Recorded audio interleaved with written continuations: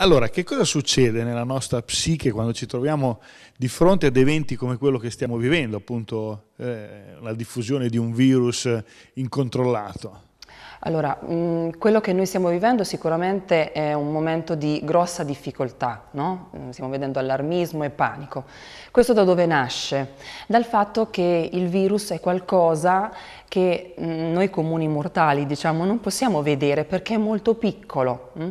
Questo fa sì che sfugga il nostro controllo, alla nostra vista e eh, da lì ci sentiamo impauriti e impotenti. Tutto questo questa mh, mm, paura e questa impotenza poi genera ansia e panico. Mm?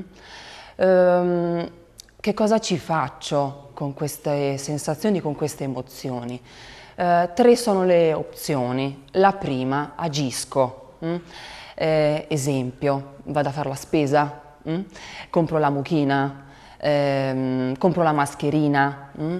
perché se faccio ho la percezione ehm, di poter tenere sotto controllo questo virus e quindi abbasso i livelli di panico e di ansia. Seconda cosa, posso far finta che non esiste, no? che non esista, quindi la svaluto, no? mm.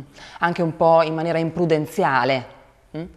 Terza cosa, quello che ci posso fare è mi blocco, se percepisco dei livelli di panico e di ansia molto molto alti, una reazione naturale è quella di bloccarsi, mi chiudo in casa.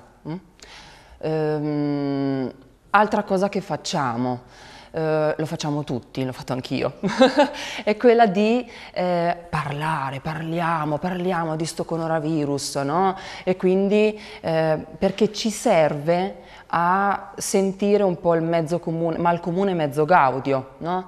Ehm, il problema che cos'è? È che in questo sovraccarico, anche ossessivo, alla ricerca ossessiva di informazioni, aumento il livello di rabbia e di panico. No?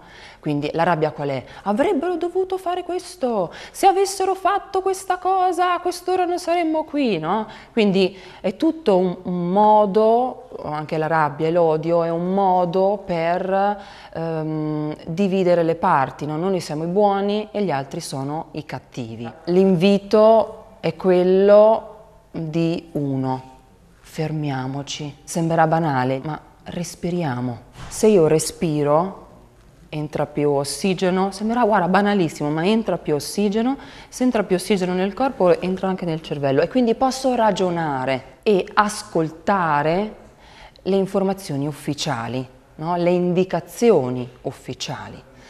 Eh, ci vengono date perché noi possiamo fare due cose, anzi tre cose importanti. Uno, proteggerci in una maniera adeguata, sana, proteggere gli altri, ok? E tre, se tutti quanti le rispettiamo, collaboriamo perché in questo modo eh, possiamo chiudere questa esperienza del, um, del coronavirus il prima possibile. Anche questo sembrerà banale, ma questa esperienza finirà. Per cui alla luce di questo l'invito è quello di continuare la propria vita.